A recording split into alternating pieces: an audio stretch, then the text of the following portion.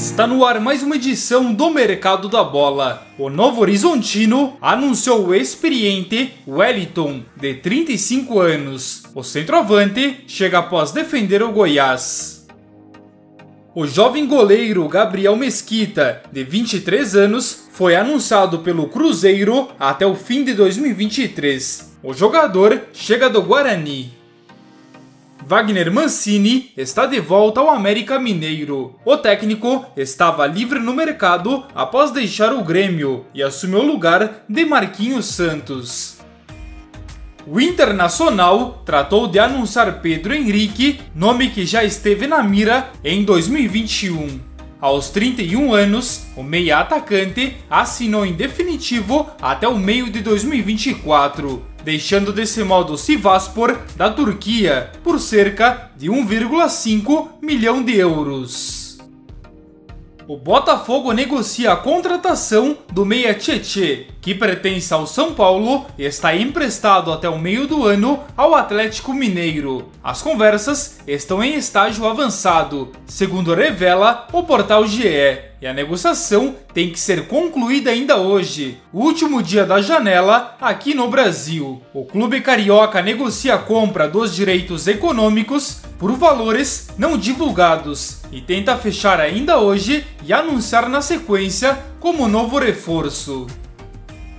Em entrevista coletiva que antecede a partida entre Manchester City e Atlético de Madrid pela Champions, o volante Fernandinho disse que decidiu juntamente com a família que não fica na próxima temporada no futebol inglês e que seu principal desejo no momento é voltar ao Brasil. Sendo assim, ele não vai renovar com o City e fica livre no mercado a partir de julho. Fernandinho chegou ainda em 2013 no time inglês e hoje está com 36 anos. Um dos possíveis destinos aqui no Brasil é o Atlético Paranaense, clube que o jogador já defendeu e tem um enorme carinho. A direção do Furacão já falou abertamente que vai conversar com o jogador muito em breve e ele pode então reforçar o clube no segundo semestre dessa temporada.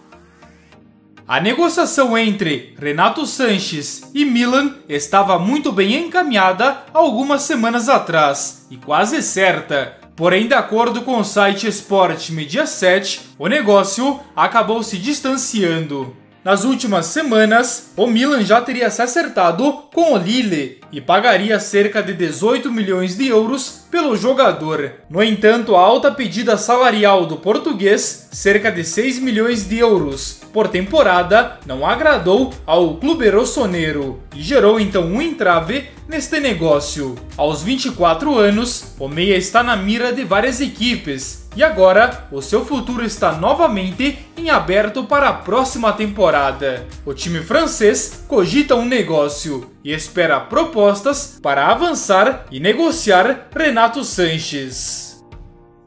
De olho no mercado, o Barcelona tem interesse em Gabriel Magalhães, que chegaria como reforço para a zaga na próxima temporada. O brasileiro vem se consolidando no Arsenal e chama a atenção do mercado europeu. Por sua vez, o Barça deve negociar nomes como Lenglet e Samuel Umtiti e necessita de ao menos um reforço para o sistema defensivo, e por isso Gabriel se encaixa no perfil buscado. De acordo com o jornal catalão Sport, o defensor é o grande pedido de chave para a próxima temporada, visto que é um jogador bem jovem, tem 24 anos e pode ser uma boa alternativa por muito tempo no clube catalão. Por sua vez, o Arsenal não vai facilitar a saída, já que é um jogador importante e que tem um contrato longo até 2025.